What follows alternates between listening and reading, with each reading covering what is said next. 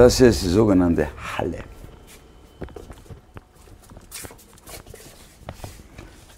Da ist natürlich keine Halle, schon klar, das ist zu klein. Aber hier sind hm, die Hauptbücher. Naja, nicht ganz, aber fast. Also, das einzig Wichtige ist diese Reihe hier. Das ist schon der gesamte John Banville. Und dann drüber haben wir hier die gesamte Jane Austen. Geht hier, hier, hier, hier, hier, hier, hier, hier, hier, hier, hier, hier. Endet bei Paul Auster. Ab hier ist Sekundärliteratur. Hier beginnt mit den Letters beginnt die Sekundärliteratur. Das ist alles Sekundärliteratur zu Jane Austen. Und das sind die verschiedenen Ausgaben, verschiedene Übersetzungen. Und hier, hier sind die Bücher, die ich immer liegen habe. Also, das ist auf der einen Seite das Lieblingsbuch von mir persönlich, von Jane Austen, Persuasion, in der Annotated Edition von Robert Morrison, ich nur empfehlen kann. Wir kennen das ja inzwischen nicht, in verschiedenen Annotated Editions ähm, ähm, von Lovecraft und von Huckleberry Finn und anderen. Das ist besonders cool, weil auch hier wieder immer am Rand, so wie beim Ulysses, ihr werdet euch vielleicht noch erinnern, ähm, Anmerkungen sind. Die Anmerkungen klären einfach auf über Psychologie der Figuren, über die Zeit der damaligen Zeit, wie, wie stark äh, äh, Jane Austen sich auf die Realität Englands bezogen hat. Man erfährt einfach sehr viel über die Zeit, auch über, über, übrigens auch über Deutschland. Das ist die, hm, ich nehme nur diese eine Übersetzung jetzt heraus, die äh, äh Übersetzung bei DTV, Jane Austen and Elliot, oder die Kraft der Überredung, eben auf Englisch Persuasion. Ähm, sie ist von, Entschuldigung, Sabine Roth. Ähm, das ist auch die Übersetzung, die ähm, Eva Mattes verwendet ähm, in ihrer Lesung ihr überall downloaden könnt. Eine wunderbare Lesung der großen Eva Mattes. Ähm, ich glaube, über Eva Mattes muss ich nicht mehr sagen, als es einfach so noch viel größer ist. Ähm, es gibt noch das zweite, das ist Stolz und Vorteil. Das ist auch wieder eine Annotated Edition. Es ist von Patricia Meyer Spax. Ähm, mit demselben. Wir haben auch hier Dasselbe wieder mit Illustrationen und eben Annotations, darum Annotated Edition, also Anmerkungen am Rand, die genauer das erklären. Man muss ja nicht lesen, aber cool ist es. Und zwei Übersetzungen. Die eine ähm, ist von Helga Schulz bei DTV, sehr, sehr gut, meines Erachtens. Grandios auch die Übersetzung bei Reklam von Christian Grave und Ursula Grave, also Ursula und Christian Grave, richtig, äh, mit Nachwort und Anmerkungen von Christian Grave. Ähm, es ist egal welche. Ähm, ich habe also Grave, Graves Übersetzung zuerst gelesen und vielleicht nur ein kleiner Tipp. Grave hat den Vorteil, ein Fontane-Experte zu sein und sozusagen also Fontanes Sprache mit in die Übersetzung äh, einzuschließen. Dass das Ganze dem Ganzen eine gewisse Eleganz äh, gibt, wenn man Fontane kennt, wenn man Stichlin zum Beispiel liebt, wie ich es tue, dann ist das ein besonderer Gewinn. Und Grabe ist natürlich für sich genommen ein ganz wunderbarer Übersetzer. So, und jetzt los. Jane Austen, Jane Austen liegt mir besonders am Herzen. Meine lieben Freundinnen und Freunde, aber da ist ein Problem. Die Wesen männlichen Geschlechts, habe ich mir sagen lassen, mögen sie nicht. Dann schaffen wir das Problem mit einem Schulterzucken aus der Welt. Sie haben sie einfach nicht gelesen. Das zweite Problem wiegt schwerer. Äh, es ist eine fast schon allgemein anerkannte Wahrheit, dass die Literatur uns eingeredet hat, wir bedürften nur einer Liebesheirat, um glücklich zu sein. Und anscheinend trägt Jane Austen mit ihren sechs Romanen die Hauptschuld daran. Ihre Plots oder Handlungen, wie, ihr sie mal haben wollt, sind, höre ich, immer geradezu Hollywood-gerecht die gleichen. Mann trifft Frau, sie verlieben sich, überwinden Hindernisse, kriegen einander und Schluss. Sie wurden getraut, die Glocken läuteten und es lächelte alle Welt, so oder so ähnlich. Gerade die Wesen männlichen Geschlechts geben nur sehr ungern zu, dass sie Happy Ends eigentlich lieben, männlich, wie sie einmal gerne sein oder sich geben möchten, aber der Vorwurf bleibt ja dennoch bestehen. Offenbar fällt bei Jane Austen nie ein Wort über das Leid nach der Leidenschaft. Und so hängen Männer und Frauen zwei Jahrhunderte nachdem Jane Austen 1817 mit nur 41 Jahren auf der Höhe ihrer schriftstellerischen Möglichkeiten ihre letzte Lebensschlacht gegen einen Tumor verlor, an den Tresen frustfinsterer Pubs und langweilen Bartender mit ihrem Gebrummel, grün und blau, etwa so. Also mit der großen Liebe, mit der bin ich jetzt aber fertig. Sie verwechseln Antidepressiva mit noch und noch und noch und noch einem Glas Wein oder Guinness und kommen fast um bei dem Gedanken, bis ins Rentenalter hinein ihre Ex-Partner samt Nachwuchs versorgen zu müssen, Alimente genannt. Dann suchen sie fluchend in echoreichen Tiefgaragen ihr Auto und fahren zittrig in ein verlassenes Zuhause. Und daran soll Jane Austen schuld gewesen sein. Jane Austen, Jane Austen aber dürften Sie nicht wirklich gelesen haben. Gerade sie hätte Ihnen ausmalen können, dass es auch ganz anders geht, dass es durchaus auch scheitern kann und darf, dass man deshalb aber noch lange nicht die große Liebe aufgeben muss. Naja, aber mhm, wie verliebt man sich richtig? Und wie bleibt man dabei? Wie schafft man es den anderen nicht von seinem Selbstbild überzeugen zu wollen? Wie schafft man es stattdessen gleichsam das Porträt zu umarmen, das der andere in ehrlicher Zuneigung von einem entworfen hat? Wie bringt man sich vor den Familienbanden in Sicherheit, die sich mit ungebetenen Ratschlägen schwatzend in jede Privatangelegenheit hineindrängeln? Wie wird eine Ehe nicht zu dem Versuch, zu zweit Probleme zu lösen, unter denen man allein niemals gelitten hätte? In solchen Fragen kannte Jane Austen sich aus. Sollten Künstler, wie es in einem Wort heißt, keine Antworten bieten, sondern nur Fragen aufwerfen, wie Ulysses mal sagte, Jane Austen war solche Nichtigtuerei fremd.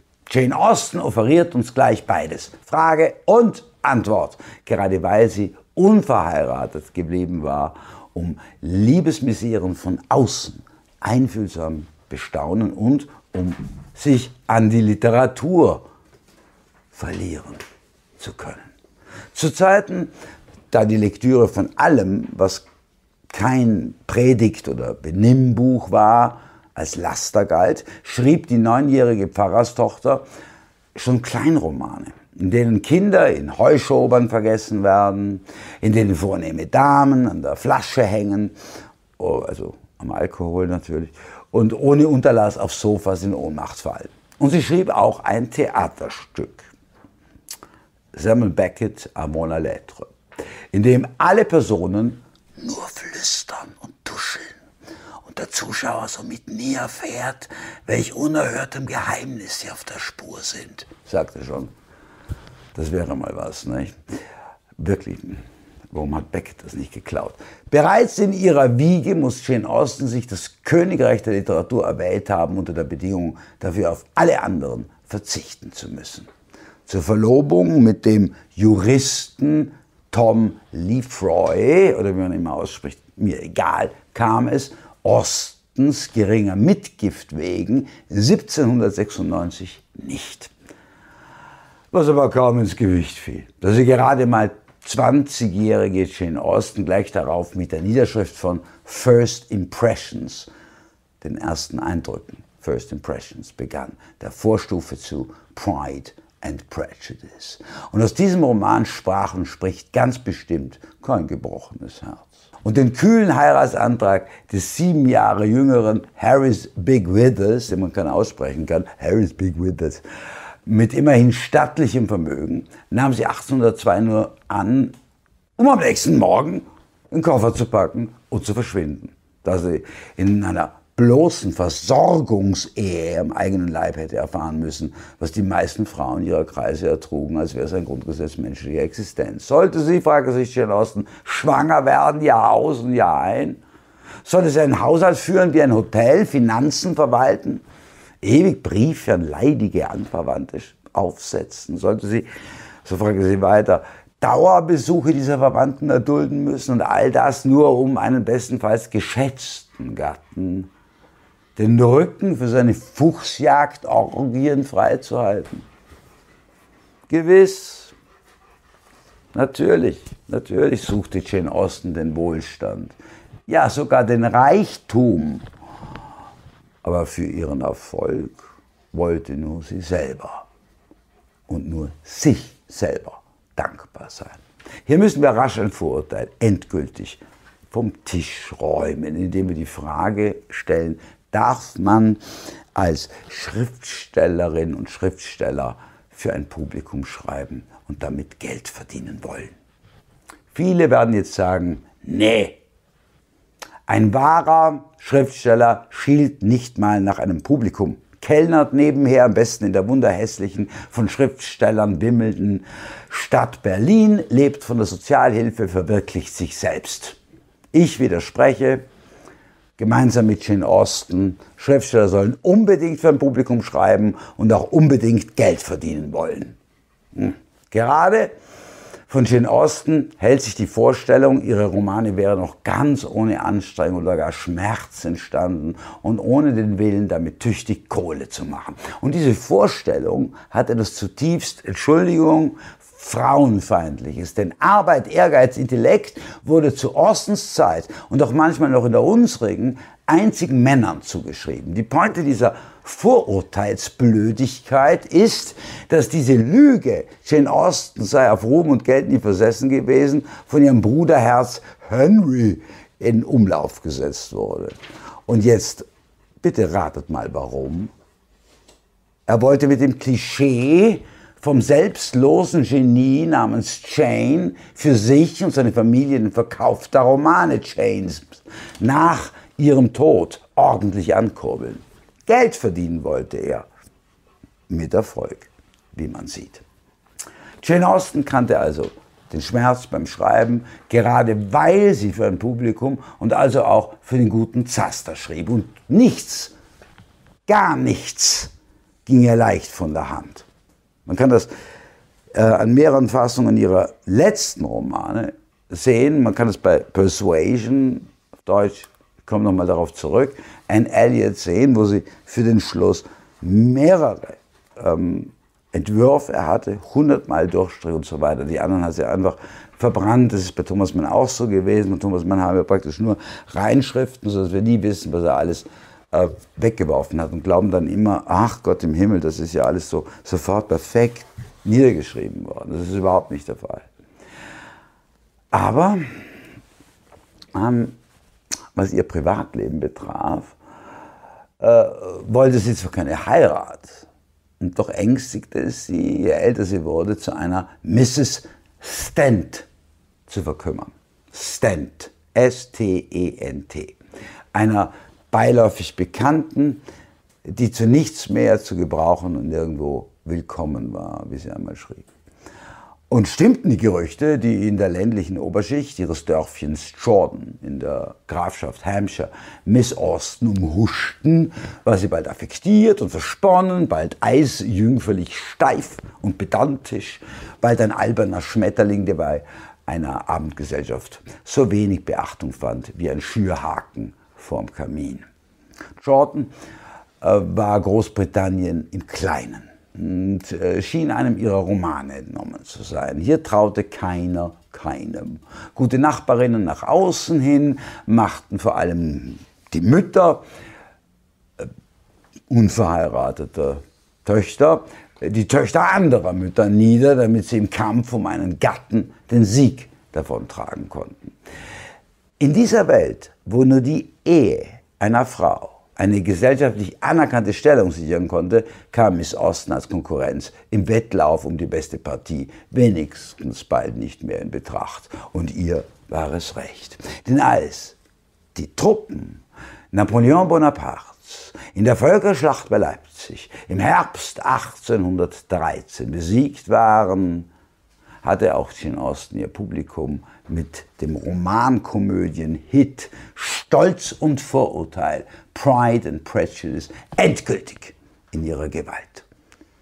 So licht und so herb champagnerfroh kam dieses Buch daher, dass Premierminister Winston Churchill während des Zweiten Weltkriegs eine heftige Lungenentzündung damit überstand. Er las und las und las und las im Bett und genas wieder.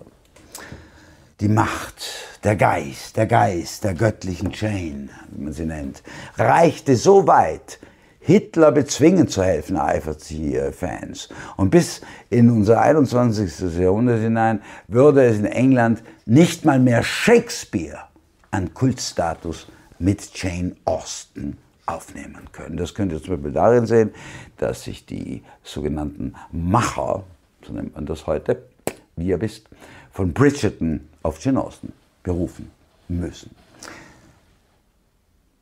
Welchen Genuss es bereitete, sie dabei zu beobachten, also Jane, zu beobachten, wie sie alltagsvertrauten Widerlingen mit messergeschliffenen Zeilen den Chaos machte. Manche ihrer Geschöpfe schienen nur geschaffen worden zu sein, damit nichts mehr von ihnen übrig blieb, wenn Jane Austen mit ihnen fertig war. Was man damals himmlische Gerechtigkeit nannte, brach in Stolz und Vorurteil wie ein todbringender Orkan über die würdevoll impertinente Lady Catherine de Bourgh und den niederschmetternd blasierten Hohlkopf Pastor William Collins herein. Und er wollte nicht so klug, gut aussehend und schlagfertig wie Fitzwilliam Darcy und Elizabeth Bennet sein. Frage, wie gefährlich ist Jane Austen? Antwort, sehr. Man merkt es nur nicht gleich. Doch zu ihren Lebzeiten bezauberte Stolz und Vorurteil sogar jene, von denen Jane Austen sich nichts sehnlicher wünschte, als sie im Londoner Tower verrotten zu sehen. Beispiel. Zu ihnen gehörte George der Vierte. George IV. Von nun an wollte der nämlich, der nach Rossens Geschmack nur ein versoffenes, ehebrecherisches Ekel war, jeden ihrer Romane ihm gewidmet wissen. Und als Georges Bibliothekar Jane Austen bestürmte brieflich, sie sollte sich an einem historischen Liebesroman um höfische Verschwörungen versuchen, bekam er zu spüren, dass Miss Austen in der Tat einem Schürhaken gleichen konnte, vor dem man sich besser hüten sollte. Das werde sie, entgegnete sie brieflich, mit beherzter Unberechenbarkeit, nur unter Androhung ihres Todes tun. Noch vor Vollendung des ersten Kapitels, schrieb sie, würde ich mich aufhängen wenn es mir verboten wäre, zu meiner Entspannung über mich und die anderen in Gelächter auszubrechen. Auch wenn sie elend daran scheitern sollte, ich gehe meinen eigenen Weg. So wie eben auch Elizabeth Bennet in Stolz und Vorurteil, laut ihrer Schöpferin Jane, bitte sehr, die Autorin selbst sagt das, der hinreißendsten Gestalten, die je gedruckt erschienen sind.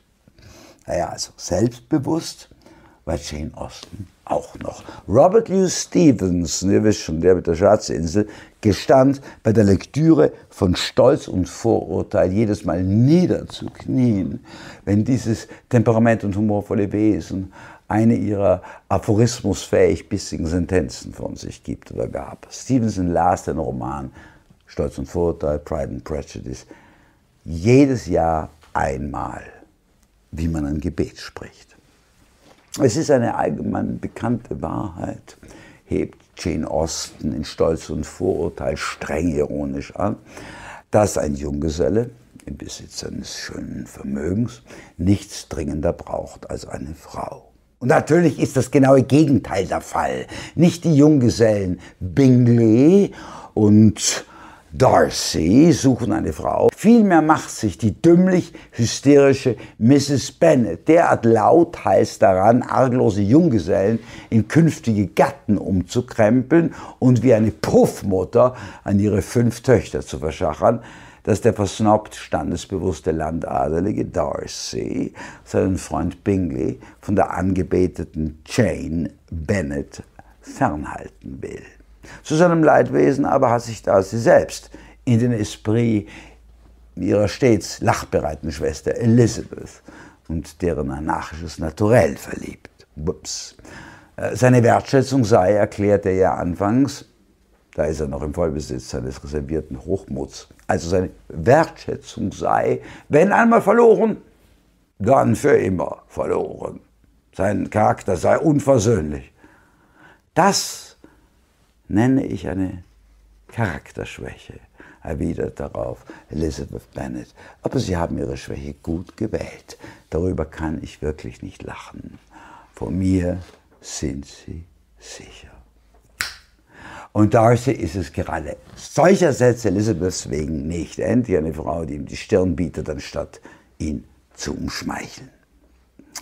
Elizabeth Bennet wieder sagt uns einmal zu oft, Freunde und Freundinnen, dass sie Darcy nicht ausstehen könne. Obwohl er über 115.000, Gott, ist das viel Geld, 115.000 Pfund im Jahr und das Prachtgefilde Pemberley verfügt, weist sie seinen von oben herab gemachten Heiratsantrag von sich, weil er den charmierenden Leutnant George Wickham um dessen Erbe gebracht haben soll. Obwohl Elizabeth Bennet schon am Namen Wickham hätte bemerken müssen, wie wicked, wie boshaft, also gefährlich und lüstern, der in seiner Uniform unwiderstehliche Wickham wirklich ist. Hatte Wickham einst Darcys Schwester Georgiana, ein halbes Kind, zu verführen versucht? Brennt er nun mit einer der Bennet-Töchter nach London durch. Darcy zwingt ihn zur Ehe, um die Ehre ihrer Familie zu retten. Elizabeth erkennt, dass sie nicht erst seit gestern im tiefsten Innern unsterblich verdacht in ihn war, fake Darcys intrigierende Tante Catherine de Bourgh in einem oh, großartigen Gesprächsduell mit kaltem Zorn für immer beiseite und verflogen sie damit auch beider Fehler. Stolz und Vorurteil die ihre Gefühle zu vergiften drohten. Elizabeth wird Darcys Weltkenntnis zugutekommen, stellt Austin ihrem Paar in Aussicht und Darcy Elizabeths Zwanglosigkeit. Nach der Heirat der zwei wundert sich Darcys Schwester Georgiana freilich bis an den Rand der Bestürzung, mit welch unverhohlenem Spott Elizabeth ihren Gatten auf dem Herrensitz Pemberley traktiert. Ob das gut gehen wird, naja, gute Frage. Dass jede Ehe zu einer Folterkammer werden kann, hat Jane Austen nie verschwiegen. Eine Freundin Elizabeths in Stolz und Vorurteil heiratet, geradezu wie unbesehen, Pastor Collins, den Obertrottel, um finanziell ausgesorgt zu haben und hält ihn sicher von sich fern, indem sie ihm die gesunde Hobbygärtnerei anempfiehlt. In ihrem Haus mit getrennten Schlafzimmern herrscht die resigniert hingenommene Qual der großen Stille und Atemnot. Wer in Ostens Universum seine Liebe vor der Heirat nicht an Widerständen bewährt, wird in der Routine des täglichen Miteinanders danach kaum auf sie bauen können. Man muss vorab alles in sich und den anderen fertig machen, was dieser Liebe im Wege steht. Und auf Selbstdistanz gerückt klarkommen mit sich selbst so ist auch die Ehe der Eltern Elizabeth Bennets nur leichthin im Aufruhr der Hormone geschlossen und früh schon geschwächt und zerschlissen, nicht mehr zu retten. Sex, Respekt und Vertrauen sind dahin. Ein Zitat, seiner Frau verdankt er wenig mehr als das Amüsement, das ihm ihre Beschränktheit und Torheit bereiteten. Doch soll man, frage ich euch, soll man ein Ideal zu Grabe tragen, nur weil man ihm nicht entsprochen hat? ist das Beste, was sich über die Hoffnung auf eine glückliche Ehe bis in den Tod denn sagen ließe. Solcherlei Illusionen sollte man schnellstens zu Grabe tragen. Für Jane Austen lag der Sinn des ganzen Daseins darin, dass es mit dieser Hoffnung erst wirklich beginnt. Es gibt immer noch und noch und noch und noch ein nächstes Mal, bevor die letzte Lebensschlacht geschlagen ist. Damit sind es alle, glaube ich, Vorurteile ausgeräumt, die uns jetzt noch daran hindern könnten, Jane Austen zu lesen. Sie hat nie aufgehört, in ihren Romanen das Leid nach der Leidenschaft zu schildern, nie aufgehört, an ihr Publikum zu denken, nie aufgehört, daran zu glauben, einmal berühmt zu sein und Geld mit ihren Romanen zu machen. Ach, ein Vorurteil bleibt noch. Es lautet dahingehend, Jane Austen sei eine im Grunde zahme Autorin. Grundfalsch, natürlich. Ich habe, wie ich bereits sagte, immer den Roman Persuasion, auch unter dem Titel Anne Elliot auf Deutsch erhältlich, auch als Hörbuch, übrigens herrlich gelesen von Eva Mattes, gerade weil er so bissig und so böse ist. Biografischer Hintergrund. Kaum war Jane Austen einem Sir Agaton Bridges begegnet, machte sie aus ihm Sir Walter Elliot. Eitel, geldgierig, Adelsklassen und Austen rächt sich und richtet, richtet auf der ersten Seite ihres Romans Persuasion bzw. Anne Elliot diesen Vater ihrer Heldin, Sir Walter Elliot, geradezu hin. Warum? Damit sie gegen ihn ihre Heldin Anne Elliot etablieren und richtiggehend aufbauen kann. Sir Walter ist erschießenswert. Und Jane Austen braucht dafür einen Satz. Seinem guten Aussehen und seinem Status huldigte er insofern zurecht, als er ihnen eine Ehefrau verdankte, die charakterlich weit über allem stand, worauf ein Mann seines Charakters Anspruch erheben konnte. Das heißt, er ist ein charakterloser Trottel, den Lady Elliot aus jugendlicher Schwärmerei geheiratet hat, um ihn zu stützen und was? Unglücklich daran zu werden. Also lesen wir bitte nach Pride and Prejudice gleich Persuasion. Worum geht es? Anne Elliot, die Tochter jenes erschießenswerten Walter Elliot, äh, dem neben seiner körperlichen Ansehnlichkeit nur der Eintrag seines Namens im Adelskalender schmeichelt und dem beides zum einzigen Lebenszweck geworden ist, muss auf ihre große Liebe zum mittellosen Marineoffizier Captain Wentworth verzichten. Ihr Leben schon vorüber. So unwiderruflich Anne Elliot mit der Eleganz ihres Geistes und der Liebenswürdigkeit ihres Charakters gesegnet ist, so kann ihr Vater, Sir Walter, sie seine eigene Tochter nicht ausstehen.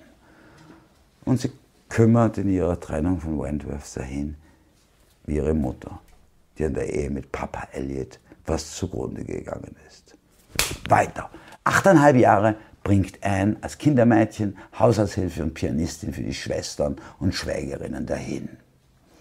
Ein Zitat aus dem Roman, und das sehr schön zu bebildern. Der Abend sollte mit Tanz enden und als dieser Vorschlag laut wurde, bot Anne wie üblich, wie üblich, ihre Dienste an und obwohl sich ihre Augen gelegentlich mit Tränen füllten, während sie am Klavier saß, war sie erleichtert, beschäftigt zu sein und wünschte sich zur Belohnung nichts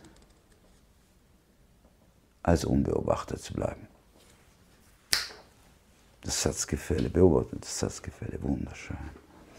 Doch Wentworth, der nicht mehr an Annes Liebe glaubte, bittet Anne noch einmal seine Hand. Du unvergleichlich gutes, unvergleichlich edles Geschöpf, nie habe ich eine andere geliebt als sie. Das Du, das Sie. Napoleon Bonaparte ist der Seeschlacht von Trafalgar 1805 geschlagen und Anne Wentworth ist stolz darauf, die Frau eines einfachen Seemanns zu sein. Und jetzt Schluss.